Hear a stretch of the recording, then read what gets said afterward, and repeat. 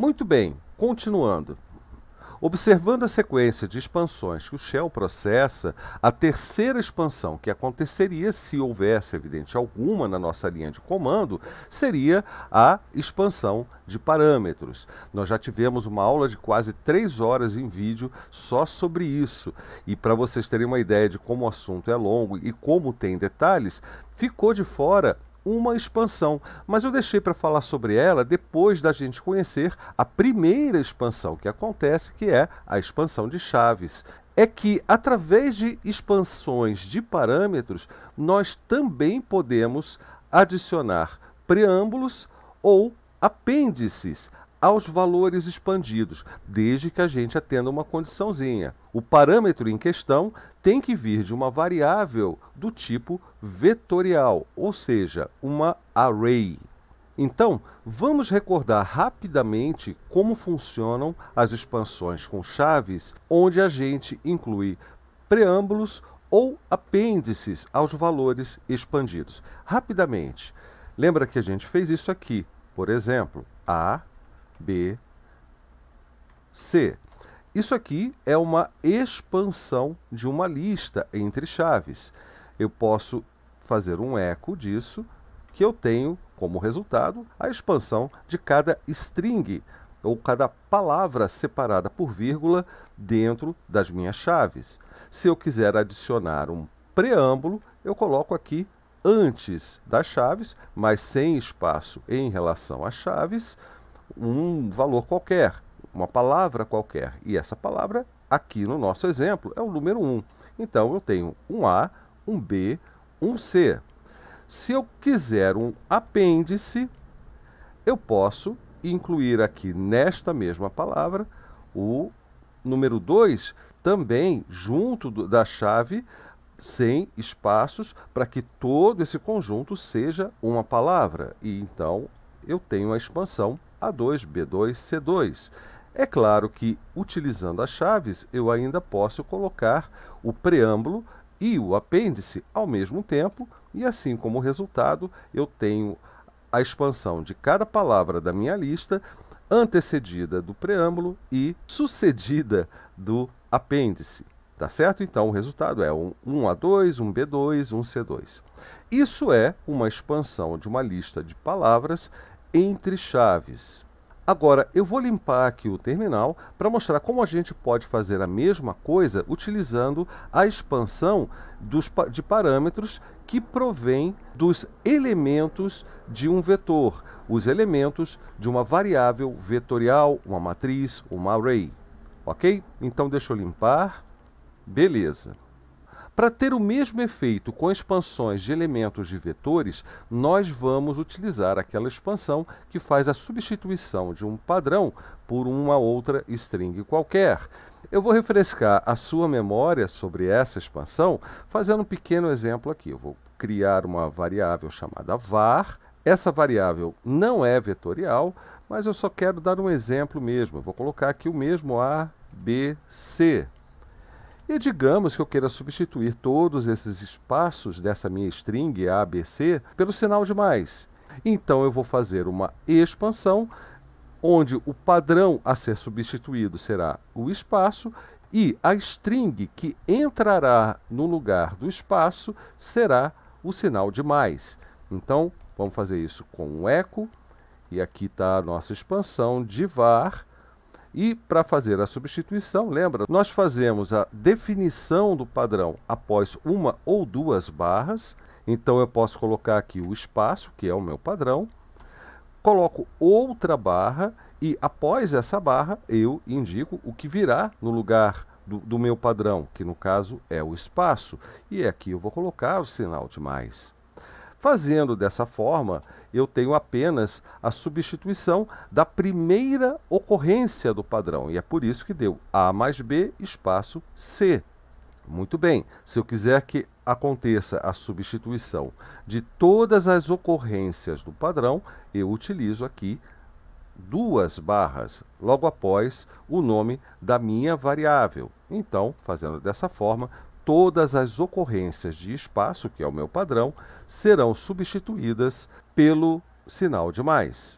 Agora, eu vou limpar novamente para fazer esse mesmo experimento com uma variável do tipo vetorial. Então, vamos fazer aqui a limpeza. Prontinho. Vamos criar agora uma outra variável, que eu vou chamar de ARR, ok? E ela vai receber quatro palavras também, ó. Banana, espaço, laranja e abacate. Agora eu tenho um vetor com três elementos, banana, laranja e abacate. Se eu fizer a mesma coisa, tentando, por exemplo, substituir a letra A em todos os elementos do meu vetor, eu posso tentar fazer aqui, ó, eco,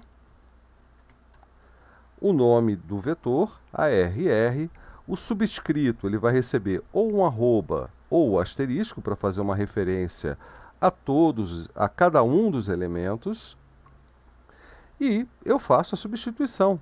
Eu quero a substituição da letra A pela letra X maiúscula.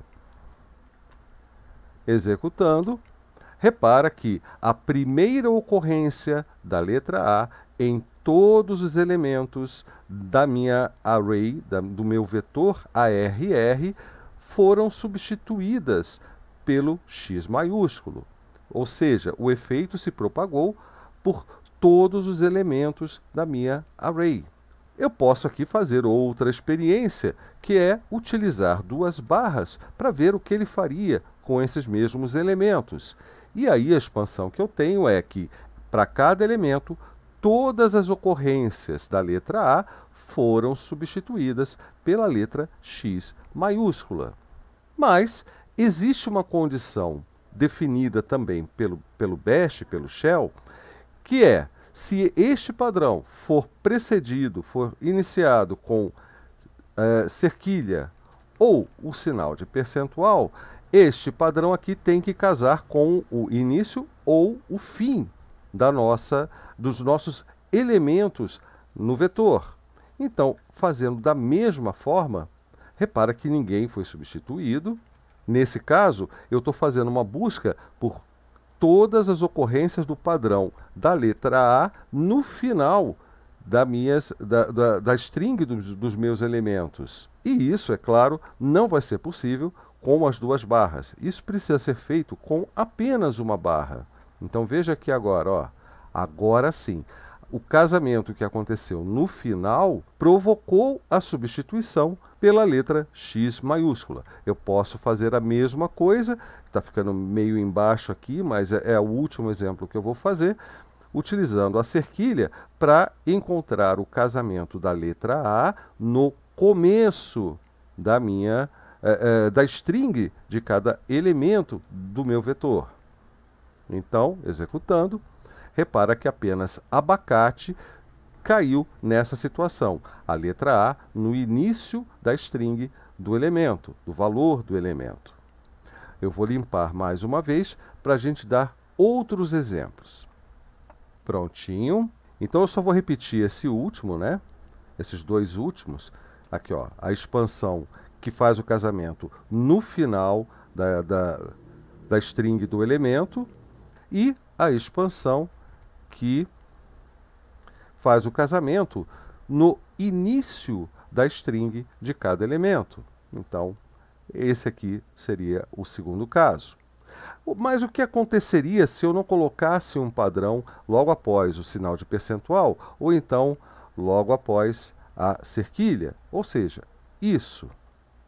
Aqui eu estou procurando o casamento com o início de cada elemento. Então, repara que agora eu tenho X banana, X laranja e X abacate. A indefinição do padrão, ou seja, a não definição do padrão, fez com que o shell expandisse a, a letra X maiúscula no início de cada elemento. Ele incluiu esse preâmbulo. Então, olha ali, X banana, X laranja, X abacate. Se eu quisesse um apêndice, né, o que eu faria? Eu colocaria aqui o sinalzinho de percentual para fazer o casamento com o fim da string de cada elemento. E aí eu tenho banana X, laranja X e abacate X. Então, dessa forma, nós fizemos a mesma coisa que aconteceu com a expansão das chaves, só que utilizando expansões de valores em vetores, ou seja, com expansões de parâmetros. Mas aí você deve estar se perguntando: olha, eu sei que com a expansão das chaves eu posso colocar ao mesmo tempo um preâmbulo e um apêndice. Como que eu faço isso com expansões de parâmetros? Infelizmente, não dá para a gente fazer apenas com a expansão de parâmetros. Mas repara que nós estamos usando o eco para exibir o resultado dessas expansões. Mas eu não tenho apenas o eco à disposição para fazer a exibição de, de valores, de argumentos. Eu tenho também um outro comando interno do próprio shell, que é o printf. E o printf tem algumas características extremamente interessantes. Aliás, ele é muito mais flexível do que o próprio echo, só que o echo é mais rapidinho da gente escrever, então a gente acaba usando mais o echo. Mas o printf, ele é poderosíssimo nesse papel de, de exibir e formatar os parâmetros expandidos na linha do comando. Então, eu vou fazer aqui uma breve apresentação do printf para mostrar como a gente pode incluir apêndices e preâmbulos aos valores expandidos, e aí não estaremos li limitados a vetores, né, utilizando o printf. Então, vamos limpar. Maravilha. O uso do printf é tão fácil, tão simples quanto o uso do eco. Só que a gente tem que prestar atenção num detalhe. Repara isso aqui, ó. Se eu fizer printf, opa, f, banana, o que eu tenho é a exibição de banana. Mas repara que o printf não inclui por padrão uma quebra de linha depois do parâmetro que ele exibiu. E outra característica é que é, o printf, antes dos parâmetros, pode vir a receber a definição de um formato. Então, se eu faço algo como print banana laranja, repara que ele só imprimiu banana, porque banana entrou como formato e laranja ficou para fora do nosso esquema. Agora, olha que interessante. Se antes da lista de parâmetros eu tiver a definição de um formato, e essa definição de um formato eu posso fazer entre aspas simples para que não aconteça a expansão, neste caso, eu defino um guardador de lugar. Em inglês a gente chama isso de placeholder. E esse placeholder, além de guardar o lugar para cada um dos parâmetros passados para o printf, tem também a função de formatar os dados que são substituídos na hora da execução do printf. O problema é que é, são vários especificadores de formatos que é o nome técnico desse placeholder. Né? Ele vai especificar a formatação do que entrar na linha do comando como parâmetro, como argumento. Então, eu vou me limitar apenas ao percentual S, que é o especificador que vai dizer para o printf que os parâmetros são strings ou têm que ser tratados como strings, sequências de caracteres. E eu vou colocar aqui agora a outra aspa simples, para a gente definir aqui o final do nosso, da nossa string de formatação, que é como a gente chama essa primeira parte, e veja o que acontece. Eu tenho a exibição de banana laranja, sem espaço, porque o formato que eu especifiquei aqui incluía apenas a ocupação de, deste lugar pelos argumentos passados para o printf. Então, se eu quero espaços, eu tenho que dizer isso para ele. Ó. Coloquei aqui agora um espaço. E agora eu tenho banana, espaço, laranja. Da mesma forma, eu tenho que colocar aqui a quebra de linha. Só que neste caso, esta quebra de linha vai entrar como parte da formatação destes valores, destes argumentos. Então, cada um deles vai ficar numa linha. E, e para resolver isso, não tem outro jeito. Eu tenho que colocar a quebra de linha após a execução do printf. O que eu posso fazer com o printf e o barra n, que é o contra barra n, que é a, a, o caractere de quebra de linha, ou então com o simples echo. E dessa forma, a gente tem o mesmo efeito de um eco com o printf, só que muito mais poderoso. Porque olha só, da mesma forma que eu coloquei aqui banana laranja e defini um espaço, eu poderia ter colocado também um preâmbulo e um apêndice. Então, cada um desses elementos receberia esse preâmbulo e esse apêndice. Então, um banana 2, um laranja 2. Então, dessa forma, a gente pode reproduzir o efeito do, das expansões de chaves com preâmbulo e apêndice ao mesmo tempo, utilizando expansões e o printf. Eu vou limpar mais uma vez para demonstrar, deixa eu voltar, que isso aqui, essa, essa lista de parâmetros, de argumentos, pode ser o resultado de uma expansão. Então, se eu pegar aquela nossa primeira variável, variável var, e expandir aqui, vamos ver o que acontece. Olha lá, 1A2, 1B2, 1C2. Você lembra que var continha apenas A, B, C. Era uma string A, espaço B, espaço C. Ok?